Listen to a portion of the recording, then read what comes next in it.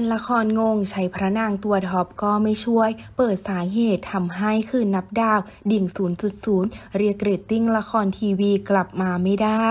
กระแสตอบรับในโลกโซเชียลร้อนแรงสุดๆ ติดเทรนทวิตเตอร์อันดับหนึ่งของไทย และอันดับต้นๆของอีกหลายๆ ประเทศทั่วโลกมาตลอดทุกตอนสำหรับละครคืนนับดาวที่นำแสดงโดยสองพระนางที่มีผู้ติดตามใน IG สูงเป็นอันดับต้นๆของประเทศไทย อย่างไบรท์วชิรวิทย์และใหม่ดาวิการ่วมด้วยหนุ่มหน้าใสขวัญใจสาววาย อย่างออฟจุมพลอย่างไรก็ตาม แม้กระแสในโลกโซเชียล จะร้อนแรงตามคาด แต่เรตติ้งที่ออกมาดูเหมือนจะสวนทาง กับกระแสอย่างหนักเพราะเรตติ้งตอนล่าสุด คืนนับดาวทำไปได้แค่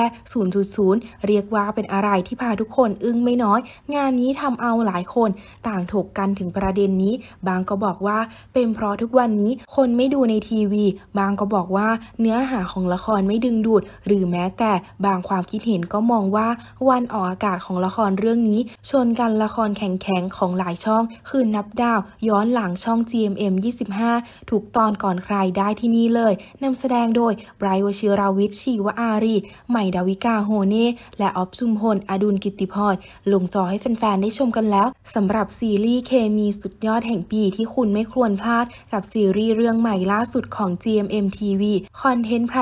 นต์ p r i v a t e r ชั้นนำของเมืองไทยที่คว้านางเอกแถวหน้าของเมืองไทยใหม่ดาวิกาโฮเน่ประกบคู่ครั้งแรกกับนักแสดงหนุ่มสุดฮอตแห่งปีไบรท์วชิรวิชญ์ชีวอารีสร้างเคมีใหม่สุดละมุนเสิร์ฟความรักแบบครบอารมณ์ ในซีรีส์คืนนับดาว Astrophil ถ่ายทอดเรื่องราวของเธอ คนในความทรงจำที่จะทำให้หัวใจของเขากลับมาส่องสว่างอีกครั้ง มีทั้งหมด 18 ตอน ดูย้อนหลังคืนนับดาว ผ่านแอป True ID